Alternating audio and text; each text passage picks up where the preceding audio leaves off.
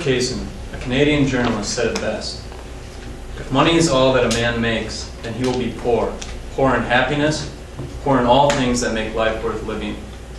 There are many things in this world that make life worth living, such as meeting new people, exploring new places, or even waking up in the morning. The truth is, money is not worth lifelong happiness. Money cannot buy happiness.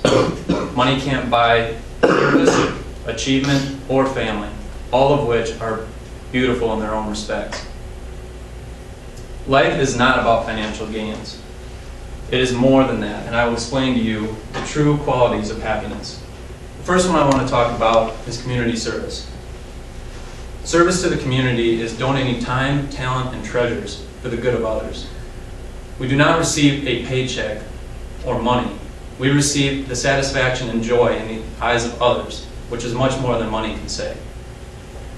Now that I've explained how community service helps for happiness, I will talk about how self-achievement is obtained without money. Nothing in this world is given to us. We must work for everything we get. Think about all the su- successful athletes in the world and how much work and effort they have to put in. Do you really think that Michael Jordan just woke up one day and magically became the best basketball player of all time?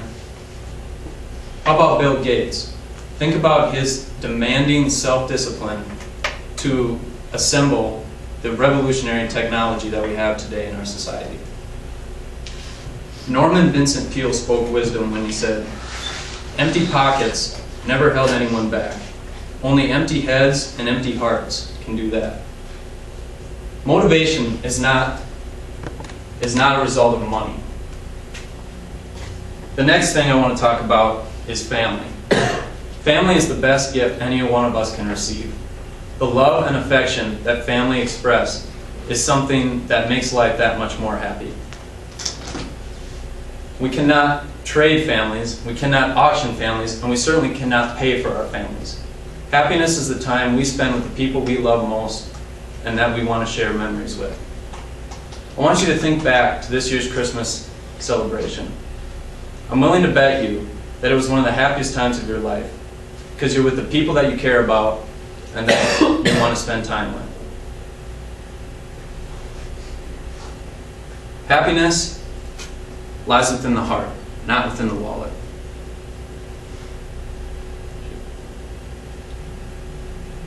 Uh, money cannot buy achievement, money cannot buy service, and money cannot buy family. Three strikes, and this proves that money cannot buy happiness.